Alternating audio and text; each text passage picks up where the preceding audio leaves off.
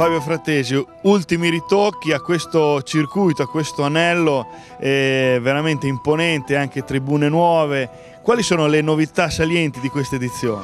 Le novità sono tante, eh, da partire dalla corsa dei cavalli qua su, l'abbiamo già fatto lo scorso anno e lo riplicheremo, ma sono tante, ci saranno tantissimi eh, antichi mestieri, tantissimi artigiani che verranno a esporre all'interno della, della, manifestazione, quindi vedremo, faccio un esempio, da chi farà il latte, farà le mozzarelle direttamente qui e le farà assaggiare, vedremo il vasaio, vedremo tantissime botteghe, ci sarà un falconiere, dopo facciamo vedere anche una piccola chicca, ci sarà per esempio, adesso te la accenno, un camposanto, abbiamo allestito, quindi tut, la pineta diventerà veramente un, una ricostruzione medievale più fedele possibile e quindi giù ci sarà il villaggio, quello che è, e qua su nella zona alta il campo di gara, le giostre. Tutte le giostre, il campo di gara, il famoso paio delle contrade viene giudicato qui con le varie sfide.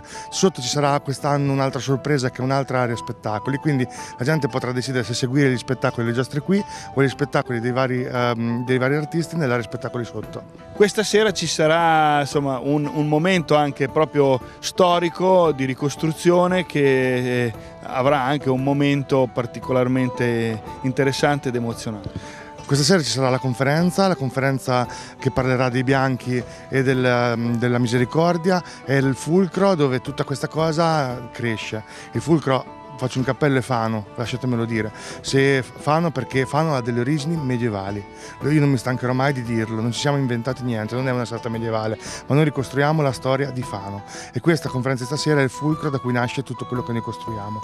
Eh, faccio un esempio, la fiera eh, ha origini medievali, è stato detto, tanto di Fano ha di medievale quanto la romanità che non vogliamo lasciare in secondo piano, ma eh, ha la pari dignità della romanità. Quindi con questo, secondo me, con questi due pilastri possiamo costruire una grande fama.